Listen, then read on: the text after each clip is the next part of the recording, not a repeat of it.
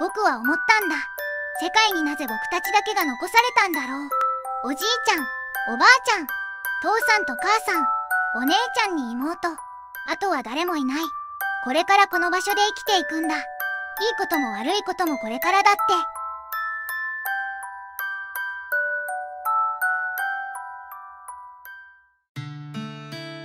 部長です。紬だよ。とうとうクランフォークを始めるんだねまだ早期アクセスだからバグとか残ってる可能性は高いがな。一応デモ版で最初の方はやってるからなんとかなるんじゃない？そうだな。まだあまり情報もないが進めていくか。とりあえずやっていこうよ。そうだな。まずは世界を作るところからだな。デモ版は英語でやってたから日本語は助かる。新しい世界だ。まずは新しいクランを作るところからだな。早期アクセス版は初めてだからまずはノーマルで。ここはデモ版と同じでおじいさんおばあさんお父さんとお母さん。そして子供が3人だが女の子2人と男の子だね。名前は変えられるのかな。それはまた別で考えよう。リムワールドと違っていきなり配置されたね。ここからチュートリアルだなまずはチュートリアルに従っていった方がいいね。まずはカメラ操作だな右ボタンをドラッグだね。ズームズームアウトマウスホイールの操作。メンバーの選択。これは単純に左クリックで人を選択だね。メンバーのステータスが確認できるようだな。ダブルクリックでそのメンバーの位置を確認だね。今度はスキルの説明だな。とりあえずはチュートリアルに従って収集を選択。これで優先順位をつけられるようだな。まとめて一番上まで持っていくボタンもあるね。今度は労働モードの説明だな。今は普通だけど1回左クリックで超過労働になるな。働きすぎは良くないね。これで休暇モードだ。休ませたい時はこれだね。ダブルクリックでリセット。これで通常モードになった。あとは開始。停止の説明だな。これって利用する場面あるのかな。これでメンバー操作のチュートリアルは終わりのようだ。まだまだ覚えないといけないことはありそうだけど。ここからは生活のためのチュートリアルだな。生きてくためには覚えないとねまずは水の見場の設定だな。オブジェクトの中にいろいろ見えね選んだ後岸辺にクリックで配置できるようだな。どこにしようかな。ここでいいや。あとは洗い場も必要だな。これは水飲み場とは離れた場所にした方がいいよね。でも近くには大きい湖しかないな。できれば違う水場にしたかったけど。そういうマップになってしまったからな次は寝る場所だね。とりあえず陸地のどこかに設置する感じだな。いきなりベッドを作成したりはできないんだ。どの辺りにしようかな。あまり水飲み場とかから離れない方がいいんじゃないか。そうだよね。この辺りでいいかな。今度は食料集めのチュートリアルだな。ベリー集めだね。ジョブから選択していくようだな。ベリー集め以外もありそうだけどチュートリアルでは選択不可になってるな。とりあえず5つ選択。ってどこにベリーがあるのかな？みんなのすぐ近くにあった。結構拡大しないと分かりづらいかもな。今は時間が止まってるので時間を動かそう。人が動き始めた。これであとは集めてくれるのを待つだけだね。時間がかかるので早送りをおすすめされてるな。そして食料置き場がアンロックされた。ベリーを収集できたってことだろうまだ依頼文を達成してないけどね。依頼文が完了したので次のチュートリアルだな。食料置き場の設置だね。置き場は種類ごとに設置が必要なようだな。この辺りはリムワールドより面倒になりそう。場所は生活圏の近くにした方がいいだろさすがにわざわざ遠くに置かないよ。うとりあえずは4タイルだけだな。後で絶対拡張が必要になるね。今度は食料置き場に配置できるものの説明だなこの食料置き場の優先順位って何だろう？さすがに俺にもわからん。可能性としては複数の食料置き場があった時にどちらを優先的に配置するかとかだろう。今度は配置できるものの説明だね。左クリックで配置できなくする。禁止マークがついたね。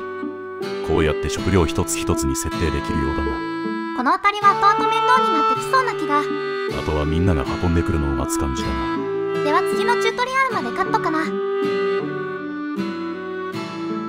ぱり食料置き場は狭いんだ。備蓄をクリックしてエリアを拡大だな。一つ一つやっていかないといけないんだ。とりあえずにタイル分拡張だな。何ヶ月でできているような気が。大丈夫だった。これでいいかな。次は作業場だな。道具を作る場所だね。まずは石を集めるところからだな。今度は石を集めると枝を集めるが活性化してるね。石は見えてる近くのものを集めればいいだろう。ではこれで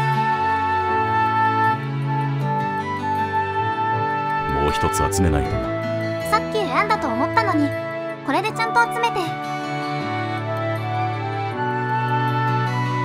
今度は枝を集めないとな。これは木を選択すればいい感じだね。ちゃんと3つ選ばないと。これは大丈夫かな。これも集まるまで待ちだな。枝が1つで作業場がアンロックされた。とりあえず作ってみたらどうだ。そうするこれも生活する場所に近い方がいいだろう。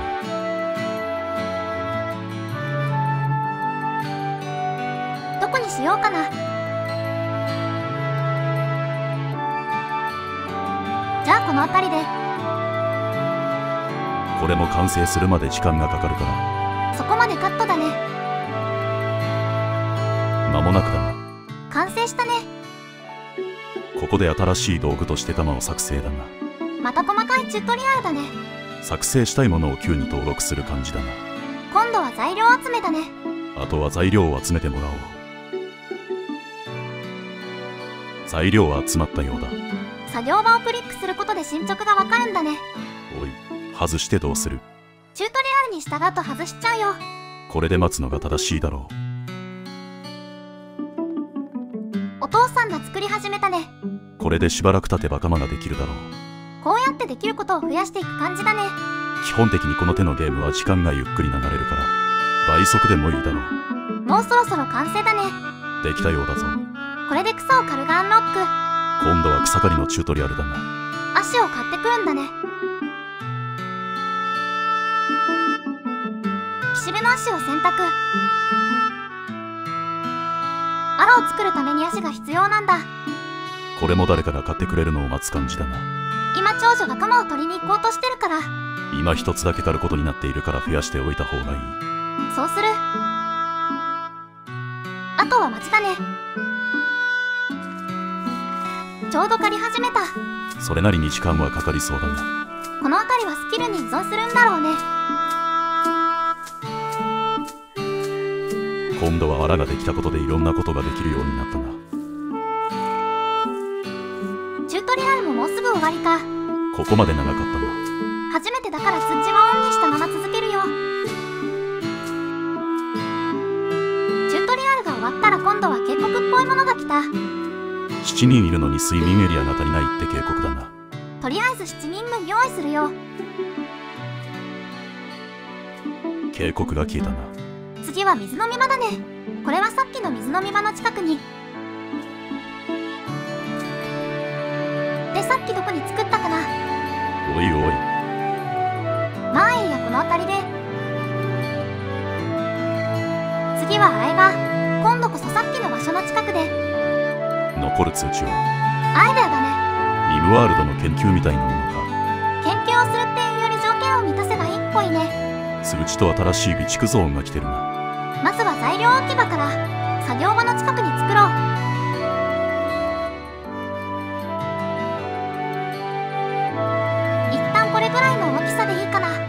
また必要になったら拡張すればいい。次は脱穀場この材料は今持っているものでできそうだな。これは作業場の近くにしておこう。これで完成を待てばいいな。序盤だけあって通知がせわしないね。新しい土が来た。脱穀機が完成したんだな。脱穀機のために草を買ってこないといけないね。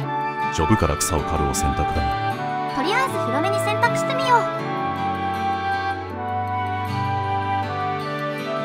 選択しても2つだけになったな。この辺りはチュートリアルなんだね。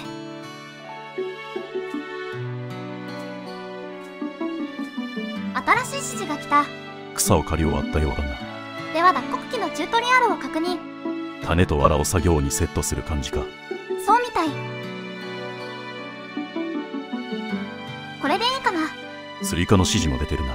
自動供給の設定。することがなければ自動で言ってくれるようだな今は指示に従って操作してみよう。1000もやるのか？100に戻すよ。これで閉じればいいよね。今度は作業の優先設定だな。こっちは作業そのものを優先させるときに使う感じだね。そして設計図の開き方の説明。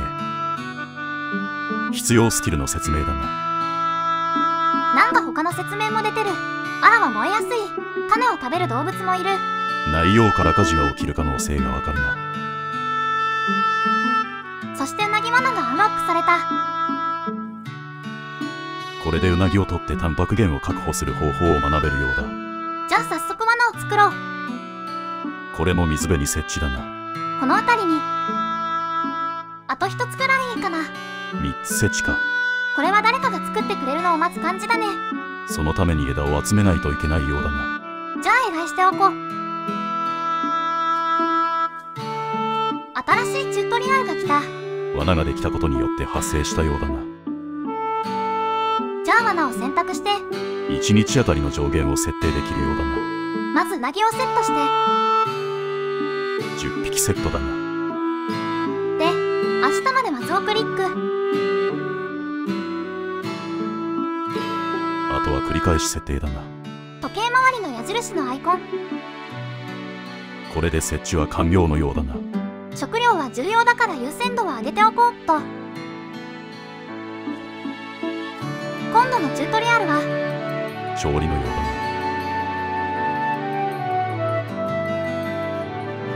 な調理用の火だねあればうなぎを焼けるようになる。なさすがに生はきついしね。これは食料ゾーンの近くにあった方がいいだ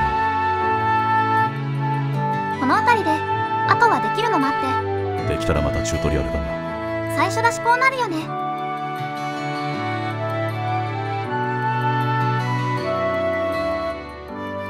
新しいチュートリアルが来た。調理用の火の完成これって火の周りに物を置けなくするって感じかな。そうだろ消火用の物資も用意しないとまずい感じかな。まだ始めたばかりだからチュートリアルが落ち着いてからでもいいじゃないか。とりあえずはブロッカーを火の周りに配置するね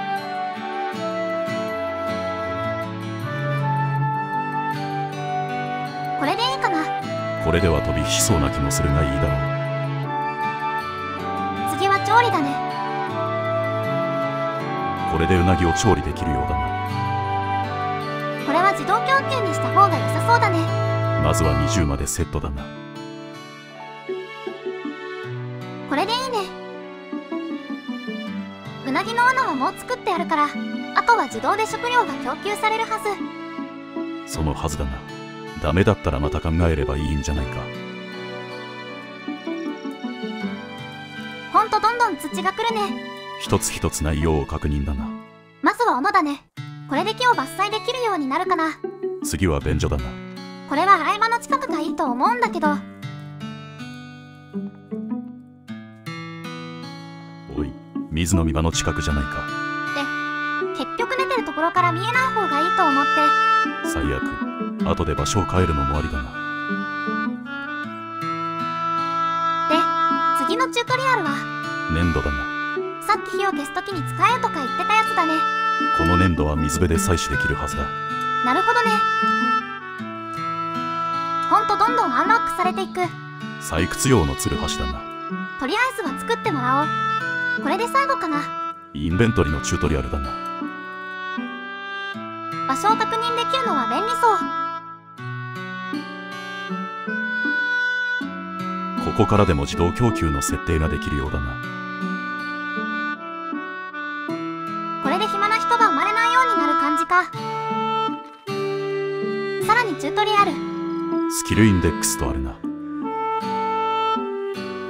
タスクの優先順位だね。ここではスキルの状況および作業の優先順位付けができるな。得意。不得意もわかる感じだね。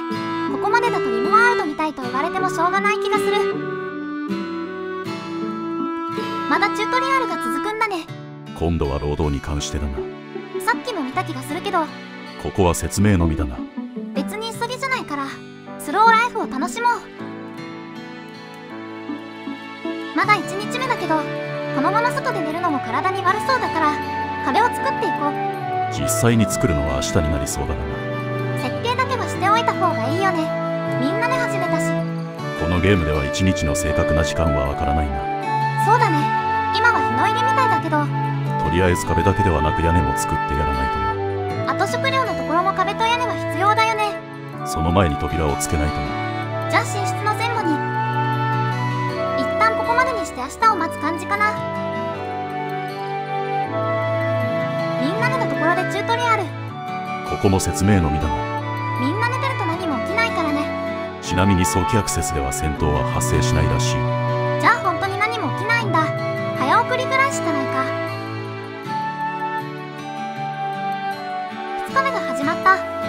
ここからもう少し文化的な生活を送れるようにしないとな。1日目で結構進んでる気もするけど。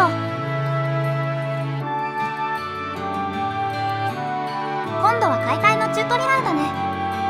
解体することで一気に草を藁にすることも可能なようだ。脱穀じゃないから種は取れないって感じだね。いろいろチュートリアルが充実しているな。慣れちゃうと見ないから今だけだけどね。今まで操作ばかりだったからみんなの生活を眺めてみようか。メンバーそれぞれがいろいろ考えて動いているな。草を買ったり料理したり脱穀したり。そう言っている間に新しいものの説明だな。ようやくまともな寝床ができるようになった。早速設置してあげよその分また材料を集めないといけないがな。うそうしている間にもまたアンロック。序盤は本当はアンロックだらけになりそうだな。落ち着いたら徐々に作っていこう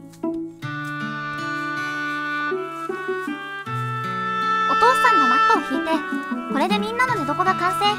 まだのざらしだがな。寝室の壁は設定してあるからあとは待つだけだよ。